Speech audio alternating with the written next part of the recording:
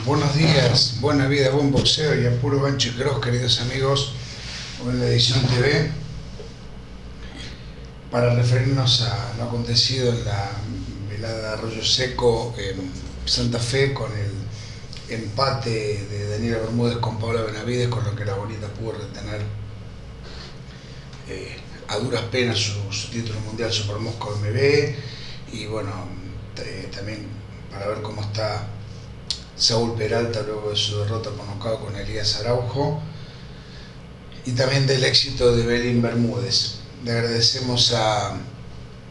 Centro Empleados de Comercio de Quilmes, a Gimnasio José Oriani de la FAB, Soluciones IG, Servicio Técnico Electrodomésticos, Club Quilmes Oeste, Restaurante Nuevo Dardo, Fábrica de Pastas La Barca, Panadería Confitería Argentina y Joya Joaquín. Decíamos que ya nos había ocurrido en otra oportunidad. Al ser esta pelea de Daniela Bermúdez con, con la chaqueña eh, Paula Benavides, radical en La Matanza, eh, por título del mundo había que fallar round a round con un punto en cada uno sin recomendarse dar empate. Entonces nosotros le ganar 5 rounds a cada una. Eh, Jesús Leticia había 96-94 Benavides, Silvia Lacia 96-94 para Bermúdez y Jorge Basile empate 95. Nosotros vimos observar una igualdad en 95. Porque en otra oportunidad Ana Esteche y la Caminera Alegre se enfrentaron al Club Cameneros y no fue por título, ganaron, lo vimos a 5 rounds cada una, pero los 5 rounds de Esteche nosotros lo vimos eh, llevárselos con claridad, mientras que ah,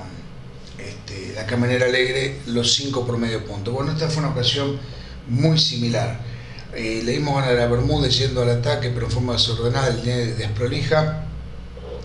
El primero, el segundo y desde el octavo al, décimo, cuando eh, cerca del noveno ya se plantó como zurda y quemó las naves con su cara este, marcada por los golpes lineales de su rival, que metía los impactos en el detalle y solía ganarlo con más claridad. Lo mejor de, de Benavides fue del tercero al, sexto, donde realmente le dio una lección de boxeo a su adversaria, al séptimo en sí. Eh, no lo encontraba Bermúdez, la vimos muy lejos de, su accionar a, Bermúdez como cuando ganó en México y en Japón. Eh, tendrá que revisar eh, algunas formas en las que se planta sobre el ring, eh, encontró la horma en su zapato, Benavides la, vez pasada sin título en juego la FAB también la complicó sobremanera, muchos la vieron ganar, yo la había ganado, visto ganar por poco a Bermúdez en aquella oportunidad,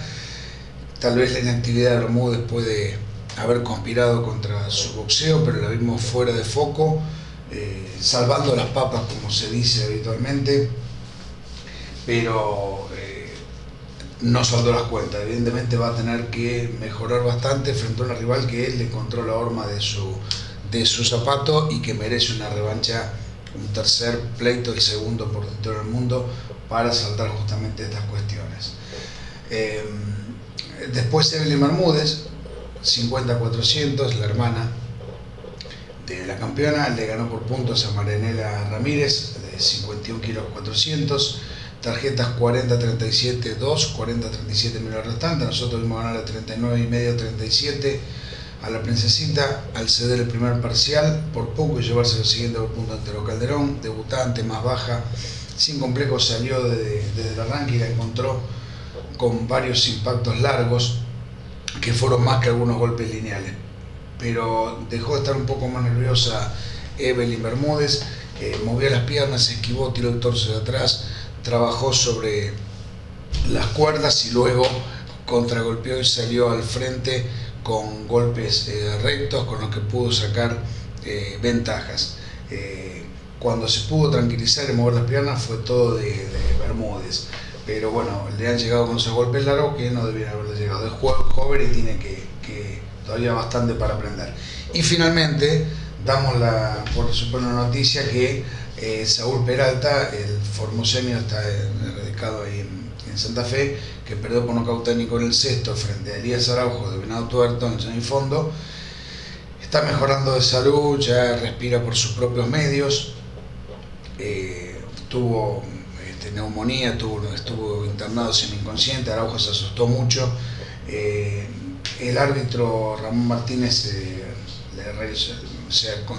con dos veces o dos caídas ya no estaba para seguir, con derechas y con izquierdas. de, Araujo fue hasta el segundo, fue rival, pero porque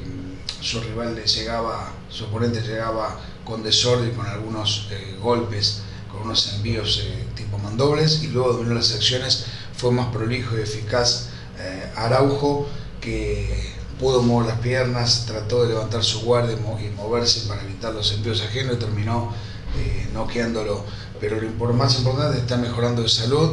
tiene que revisar este, su equipo este, de, trabajo de Elías Araujo, eh, perdón, de, de Saúl Peralta, que lo primero la salud en la vida, ya le había pasado un knockout rápido con Nahuel Galesi este, fin del año pasado, noviembre del año pasado, eh, después le ganó a Roque Junco, en un knockout cuarto, pero también ha recibido golpes de más, la salud está, es lo primero, perdió seis de sus últimas eh, nueve, eh, cinco de sus últimas nueve y bueno, todas sus últimas tres por knockout así, su vida está primero, que encuentre otra,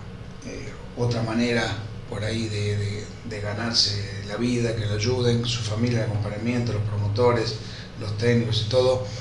porque hay que cuidar la salud, no sea cosa que haya una, desgracia que hace más de 50, 60 años que no ocurre en la Argentina. Nos asustamos mucho, por suerte está mejor, evolucionando y seguiremos informando eh, en los próximos días, más allá del resultado deportivo. Le agradecemos al Centro Empleado de Comercio de Quilmes, a Gimnasio José Oriani la FAB, a Soluciones IG, Servicio Técnico Electrodomésticos, Club Quilmes Oeste, Restaurante Nuevo Dardo, Fábrica de Patas La Barca, Panadería y Confitería Argentina y Joya Joaquín. Nos estamos viendo en otra edición de Gancho y Cross TV.